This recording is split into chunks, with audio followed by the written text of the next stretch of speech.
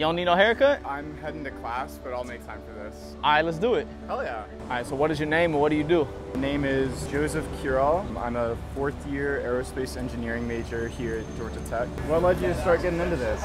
So I feel like my passion is to be a barber, but my purpose is to be able to motivate and inspire people. So I gave me a platform for me to use my voice more than anything. You got a relationship? Yeah. Y'all met here on campus? Yeah, we met in an online class actually. COVID brought a lot of bad to the world, but I guess it did, did some good things as well. It's always gonna be a blessing in this somewhere. Yeah, you just gotta look for them sometimes. Go at it from a negative perspective, all you're gonna find is negativity.